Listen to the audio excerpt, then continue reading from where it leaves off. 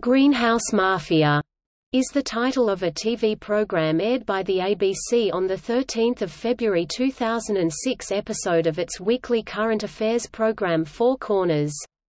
The program says the term Greenhouse Mafia is the in-house name used by Australia's carbon lobby for itself.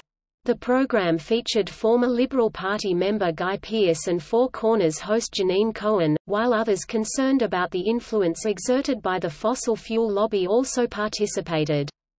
The report was based on a thesis Pearse wrote at the Australian National University between 1999 and 2005 regarding the response of Australian business to global warming.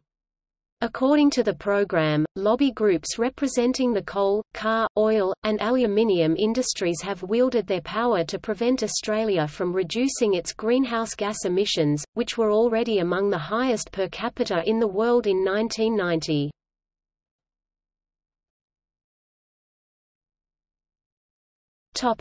Research by Pearse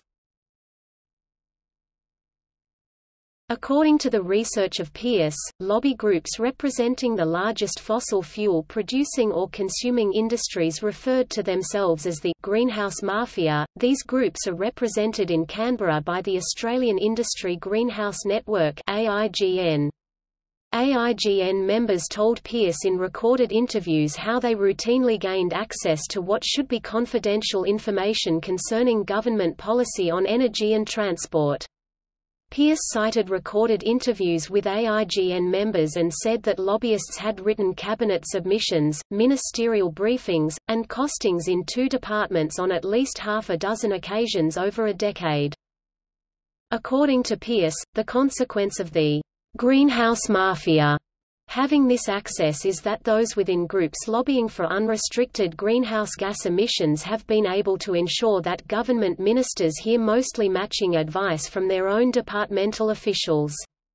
Pearse says that this influence is entrenched to such an extent that fossil fuel industry lobby groups have actually been writing Australia's greenhouse policy at least since the Kyoto Protocol in 1998, and probably even before John Howard became Prime Minister in 1996.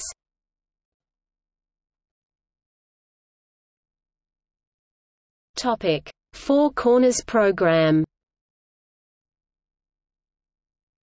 The Greenhouse Mafia episode of Four Corners begins by reviewing the evidence Pearse assembled during his PhD research, and questions a political science academic, a senior federal bureaucrat, the federal environment minister and a representative of the industry peak body, the Australian Industry Greenhouse Network, about their responses to Pearse's allegations. The episode then moves on to a series of interviews with climate scientists who currently or formerly worked for CSIRO.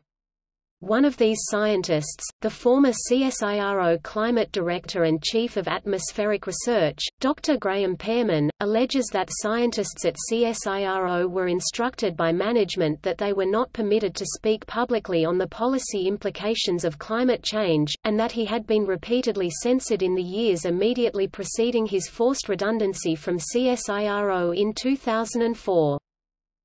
Another former CSIRO scientist, Barney Foran, recounts an incident in August 2005, when, after giving a few radio interviews about ethanol, he received a phone call from a staff member in CSIRO's corporate center who claimed to be passing on a direct request from the Prime Minister's department that, "...they'd really appreciate it if you didn't say anything about ethanol."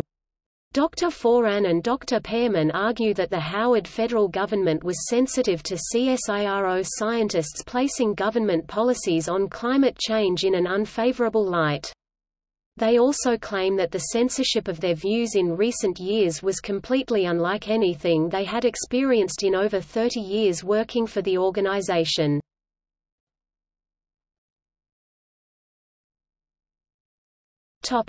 Clive Hamilton's perspective Following the Greenhouse Mafia report by Four Corners, a talk was given on 20 February 2006 by Clive Hamilton, the director of the Australia Institute and one of Guy Pearse's PhD supervisors, elaborating more on the greenhouse mafia. The talk described a dirty dozen, a group of climate change deniers with considerable influence over Australian policy. The members of this dirty dozen included Hugh Morgan, John Ailes, Ron Knapp, Alan Oxley, Peter Walsh, Meg MacDonald, Barry Jones, Chris Mitchell, Ian Macfarlane, Alan Moran, Malcolm Broomhead, and John Howard. The talk said that the greenhouse mafia is predominantly representative of the coal, oil, cement, aluminium, mining and electricity industries. Topic later publications In July 2007, Pearse released his own book on the subject, High and Dry, John Howard, Climate Change and the Selling of Australia's Future.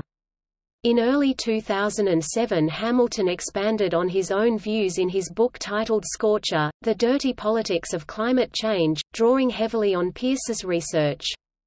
Pearse and Hamilton have cited various examples of greenhouse mafia influence on the Howard government's response to climate change. One of the best documented examples involved a group called the Lower Emissions Technology Advisory Group LETAG. Reports of a secret meeting of the group with John Howard and representatives of the Australian government in May 2004 appeared in The Age in October 2004. LETAG consists of the leaders of some fossil fuel companies and energy-intensive industries, including Rio Tinto, Edison Mission Energy, BHP Billiton, Alcoa and Orica. The minutes of the meeting were leaked and described how both groups worried that Australia's mandatory renewable energy target MRET was working too well and were market skewed towards wind power.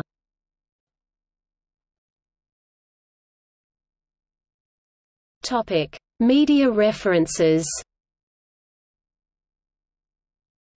Geoffrey Barker, journalist and author, made mention of the Four Corners greenhouse mafia program in relation to a discussion on the politicisation of the Australian public service.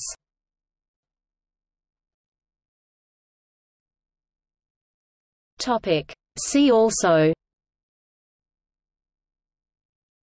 Requiem for a Species. Mark Diesendorf. Loney Report